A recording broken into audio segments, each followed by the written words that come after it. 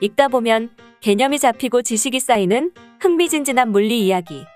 이렇게 재미있는 물리는 처음이야. 거리를 가늠할 수 없는 우주 저 멀리에 있는 별들과 손에 잡힐 듯 날아가는 새들은 똑같은 인력에 끌어당겨진다. 바다 위에 떠 있는 배와 우리가 발을 딛고 서 있는 땅은 똑같은 관성으로 운동한다. 인류는 물리학을 통해 세상을 이해하면서 강해졌다. 연료 에너지를 실린더에서 방출시켜 끊임없는 교통 흐름을 만들었고 뒤얽힌 음영을 스크린 위에 겹쳐 아름다운 세상을 재현해냈다. 물리로 세상 만물을 이해할 수 있다고 하지만 교과서에서 배우는 물리는 어렵고 지루하기만 하다. 색다른 물리학은 자연스럽게 물리라는 학문으로 연결시키면서도 심도 있는 물리학 공부를 위한 기초 개념을 잡을 수 있도록 도와준다.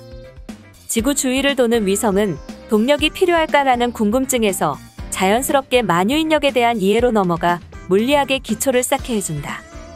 고드름에서 피어나는 김과 끓는 물에서 피어나는 김은 같을까라는 질문에서 연력학 법칙에 대한 개념을 차근차근 세워준다. 궁금증을 풀다 보면 저절로 100점 맞는 색다른 물리학. 물리의 기본 개념이 저절로 머리에 쏙. 교과서보다 쉽고 흥미진진한 물리학 교실. 미디어 스펙, 재미로 읽다가 100점 맞는 색다른 물리학 세트였습니다.